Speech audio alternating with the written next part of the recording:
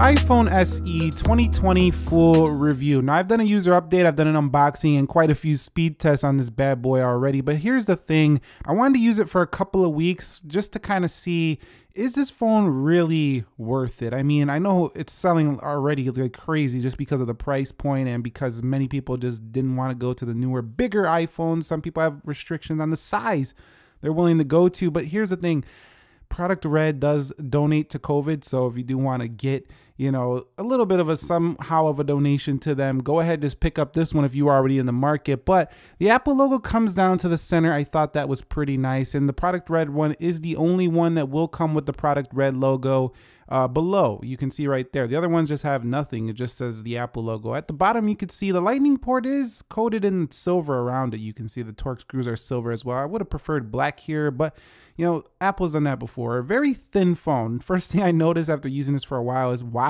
the iPhone 11, 10R, these phones are so much thicker than the SE. You can see right here, the silent switch is there as always, classic antenna lines, classic volume rockers, nothing different here. Flipping it over to the right side, we do have a skinnier power button than you see on something like the 10, 10R, 11.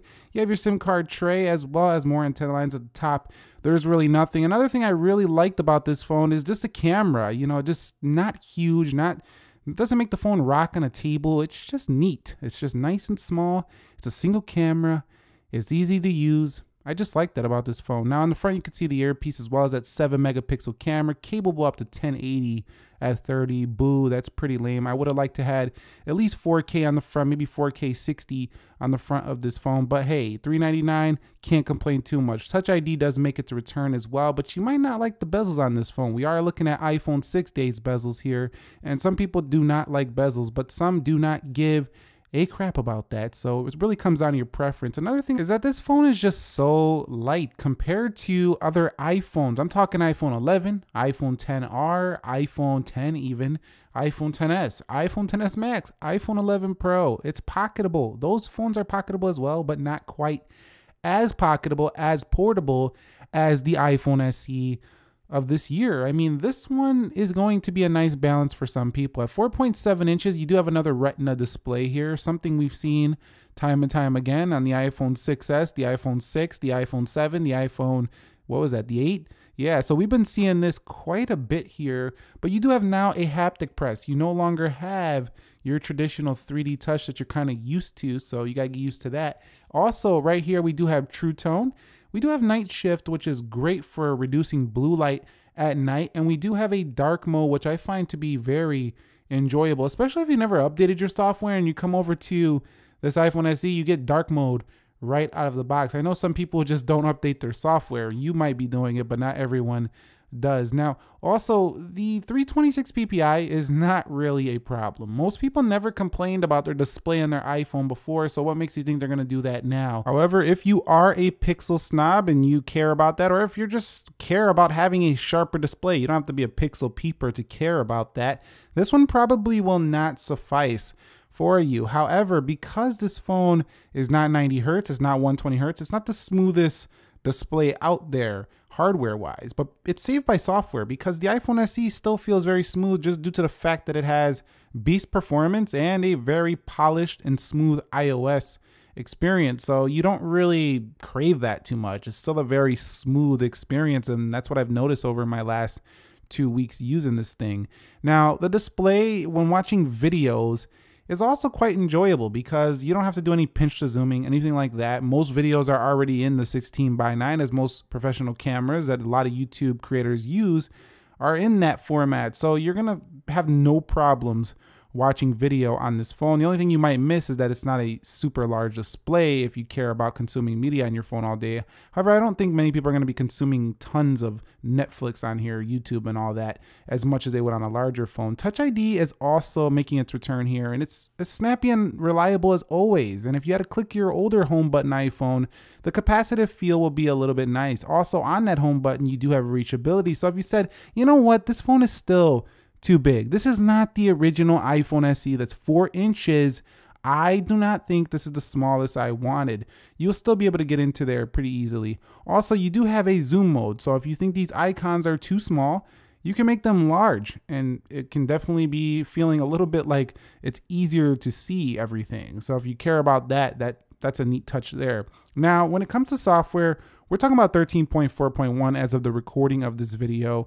The only thing I've noticed that's really different about using this versus any other iPhone is just the way you operate. You got to swipe up from the bottom. It's just different. It feels older than swiping up from the top. The clock's in the middle. That's a little bit different. You can see your battery percentage, something you can't see on the iPhone 11 or any of the newer iPhones without pulling down to check it. So I do like that. The camera software also looks updated for 2020. However, there's no night mode within this phone. I think Apple dropped that one. They should have put that one in here, considering it definitely has the power to do that. So I would have liked to seen that. But you know, it could change aspect ratios. You got portrait mode now on a single camera. That's pretty nice.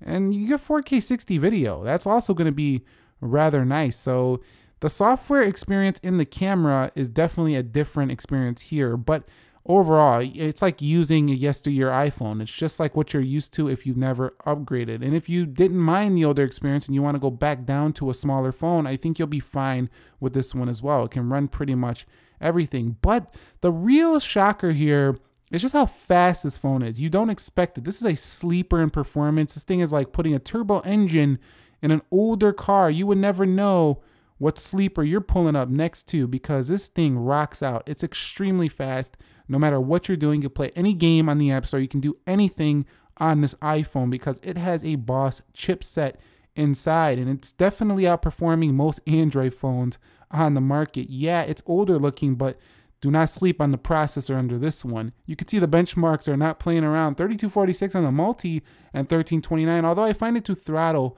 under heavy load. You can see right here 128 gigs. You can also get this phone up to 256 gigs as well, but then the price goes way up to like 549. So, so let's say the sweet spot in price to value ratio is probably the 128 gigs. After taxes, this thing is like 480 for this one. Now, the camera, 12 megapixel iSight on here. We talked a bit about the software. What are the results like? I have taken many. I will show you them in a second. But the thing here is that the processing performance makes the Smart HDR come. You can see the 7 megapixel there, not really upgraded. That was an unfortunate point of this phone. Your selfie quality is not going to up on this one. You got to go to the 11 for that. Swiping into the camera, I just really like how effortless it is to get good results with the iPhone. And this one is no different. You can take selfie, take portrait, take video right from that haptic press.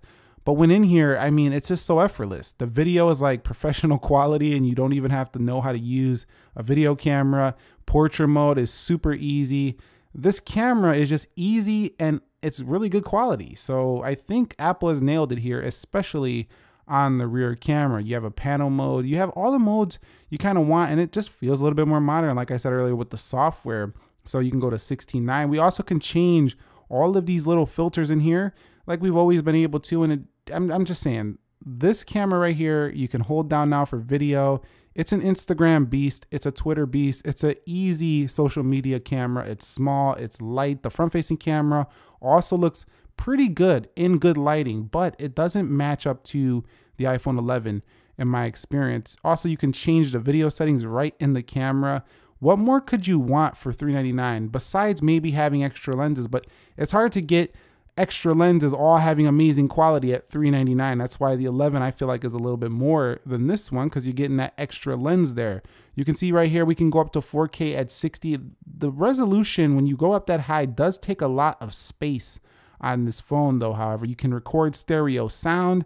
I mean this is a boss camera to get started on youtube to get started on your journey of photography videography whatever you need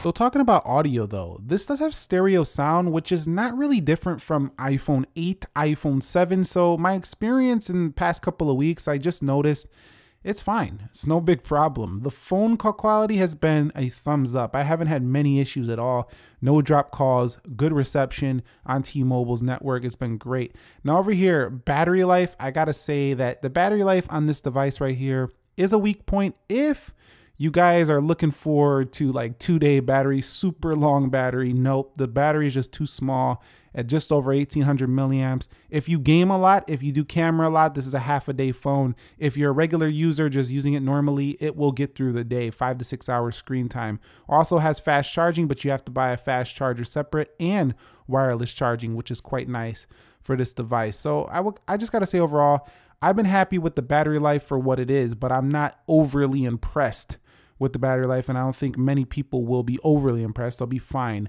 with it. Now, overall, the SE, after two weeks, you've seen I've done plenty of videos on it. I just really wanted to use it first before I gave you my final opinions.